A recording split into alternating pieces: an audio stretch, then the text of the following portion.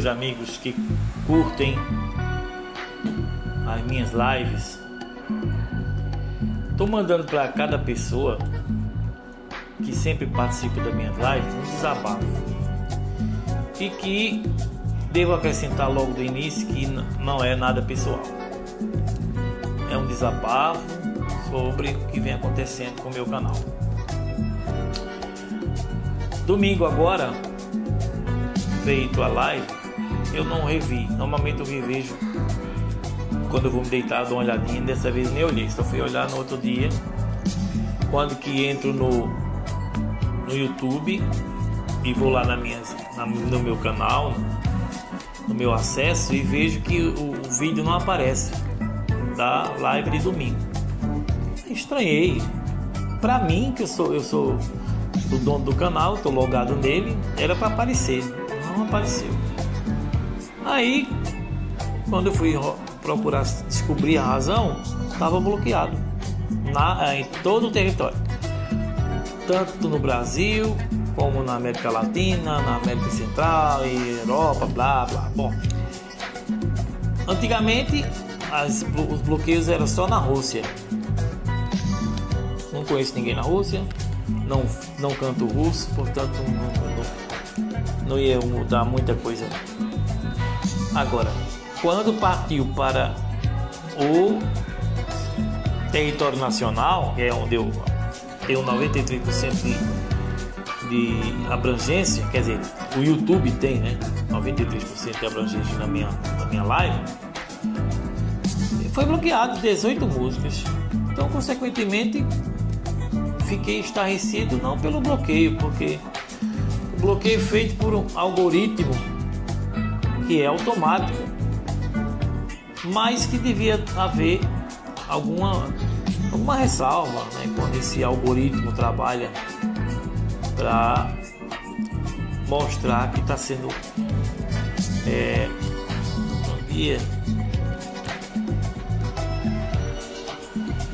mostrar que está sendo coerente nos bloqueios. Por que eu digo isso?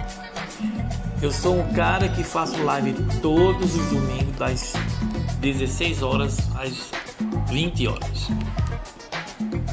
Em toda a minha live, se no máximo, desde o tempo que eu comecei a fazer antes da pandemia, que dá 12, dá 10, tem dado 4, tem dado 3 pessoas só assistindo e eu fazendo a live.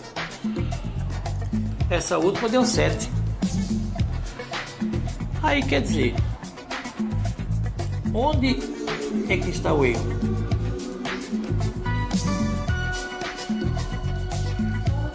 Bom dia. Onde é que está o erro? O erro está como programar esse algoritmo para bloquear. Por quê?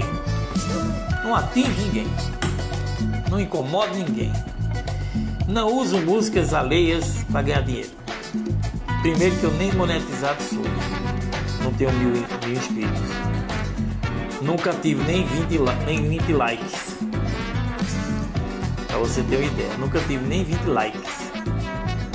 E likes é que faz com que o YouTube divulgue seu trabalho. Eu não tenho esse like suficiente para ser divulgado para outras áreas. A minha indignação é essa é de existir um algoritmo que penaliza qualquer pessoa. Eu não ganho dinheiro cantando. As poucas vezes que tentei ganhar dinheiro, mas para ajudar, tipo um problema no computador, né, que fica direto, transmissão ao vivo, pagar a internet e pá. Mas das 28 pessoas que convido para assistir minha live, no máximo 7 aparece para assistir. Né? E as pessoas para quem eu pedi ajuda no Pix, das 24 pessoas que eu tinha certeza de que iriam me, me contribuir, ia contribuir para o meu canal, só foram três. Então, onde é que esse algoritmo que é um robô, mas que foi programado por um ser humano, tem razão de fazer isso. o ser humano que programou este algoritmo era para colocar ressalvas, né?